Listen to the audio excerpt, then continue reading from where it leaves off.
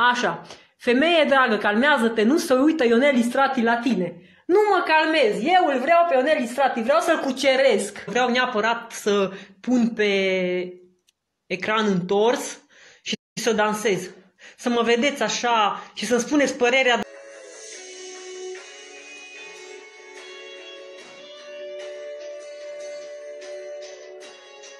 Daria, nu ai șanse, eu cred că am. Galina Moroșan, ești frumoasă. Pe bineînțeles că sunt frumoasă. Am așteptat și să vă dați seama și voi odată și odată. Mihaela uh, îmi trimite niște aplauze sau uh, o palmă, nu știu. Acid hialuronic la buze? Păi pentru ce să-mi pun la buze? Că nici Ionel n-are acid hialuronic la buze. Și e foarte atrăgător.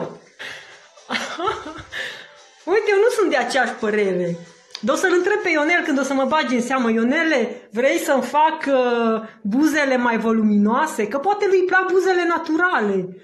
Că m-am uitat pe YouTube-ul lui și am văzut niște filmări în care el uh, avea iubită. Și era foarte naturală fata. Deci nu buze mărite, nu nas alungit, uh, păr natural.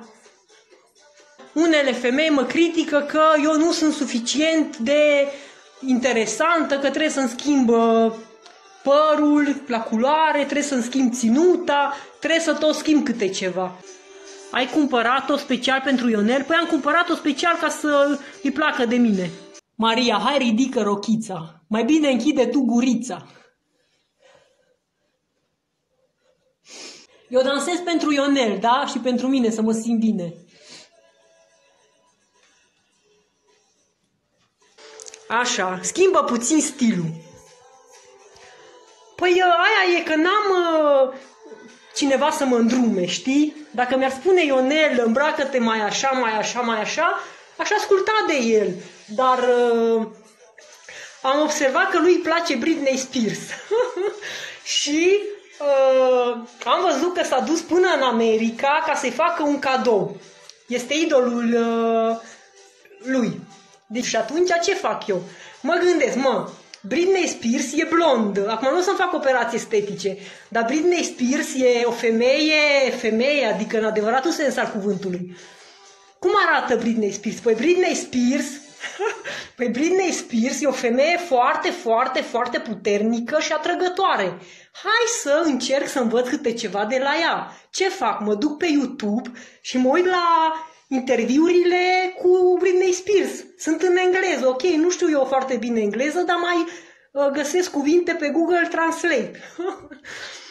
Așa, și încerc să o imit. Adică, am văzut că se îmbracă foarte sexy.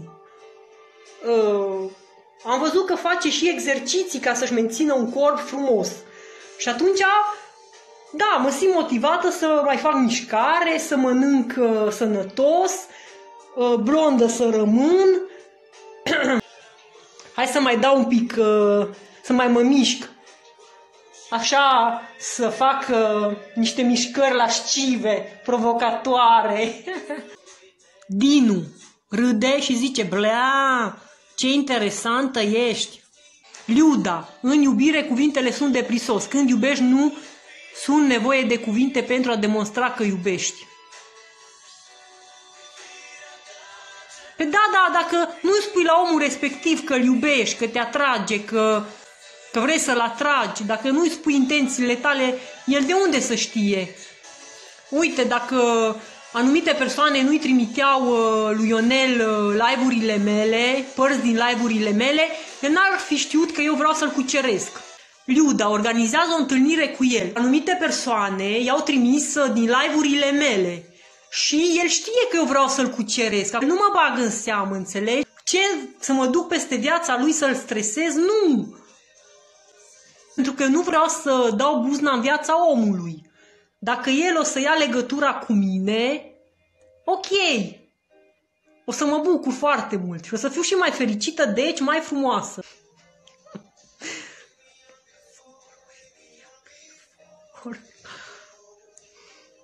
De ce te faci de râs la Moldova întreagă? E părerea ta că mă fac de râs la Moldova întreagă.